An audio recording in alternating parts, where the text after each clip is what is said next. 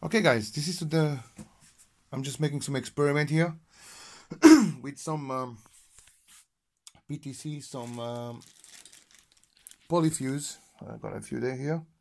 These ones are, are 500 milliamperes, but the ones I'm trying actually with the, um,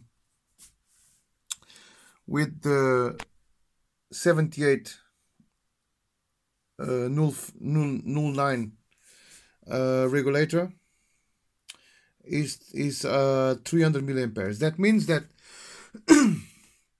at 300 milliampere, when it reaches 600 milliamperes, will its resistance will go up. Is this little yellow thing here or brown? Its resistance will go up and will keep a constant current, or it should, of 300 milliamperes when it's triggered. So it should trigger at 600 and uh, it should keep a current of um, 300 milliamperes. This obviously is a short circuit protection, right? so I got this circuit running. Running. It's uh, at the moment is drawing 243 milliamperes. So I got three devices powered. My boss, my old boss pedal board, and uh, my chorus in my Ulupino.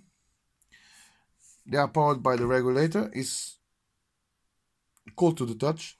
It's taking 240 milliamperes. Very important, guys. Very important. Always a heatsink, right? Always. Because it's not warm like this. You might think, oh, it does need it. But this is the reason why it is not hot. Okay. So, let's demonstrate here. I'm going to provoke a short circuit. Let's see some smoke. I'm going to provoke a short circuit by shorting the output after the polyfuse to ground, which is the thing here. So you'll see that the lights will go off there. So, okay, short circuit. The short circuit LED came up. Milliamperes is decreasing that means the resistance from the polyfuse is increasing. Because see that it's bright, it's bright now. It's, it looks like it is wet because it's hot. The I think it keeps a constant uh, constant current of constant temperature of 80 degrees. At 80 degrees, it has maximum resistance. See, it keeps a um, current of 72 milliamperes.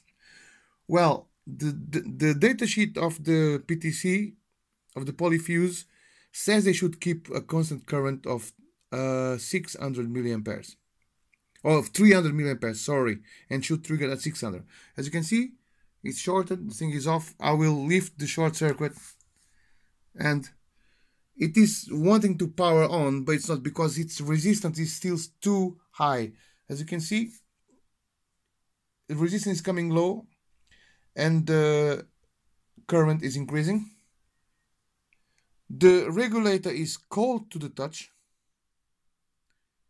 Really is cold to the touch because this the polyfuse uh, increased is increased is resistance. So the thing is not still coming on because I'm if I I'm going to turn this off for a moment. Just put the phone down for a while. So I turn it off now. As you can see, the, the ampermeter is is off. Power is off. I wait a little bit until the PTC cools down, and uh, we'll be able to see that the the power will be restored as soon as the the polyfuse uh, cools down. So I'm going to turn it on now, and there you go. There you go short circuit is cleared power reset. Normally it should it should not need to reset but you know the the it cools down slowly if there is some current passing through it right?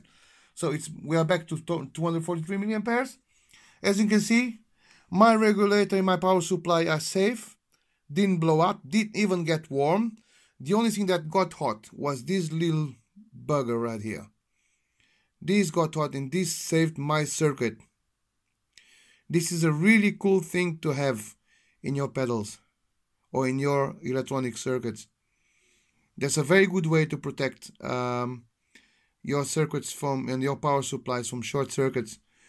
And uh, they are quite cheap. I think Tayda has has them as well. I bought a few from them already.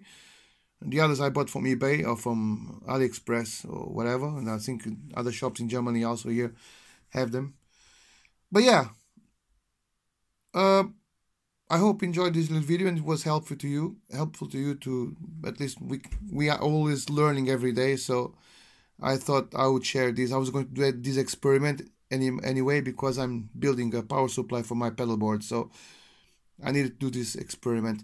But you will be you will have to choose very carefully the value of your polyfuse. I would say that for a pedal or so, you don't need more than 200 milliamperes or so.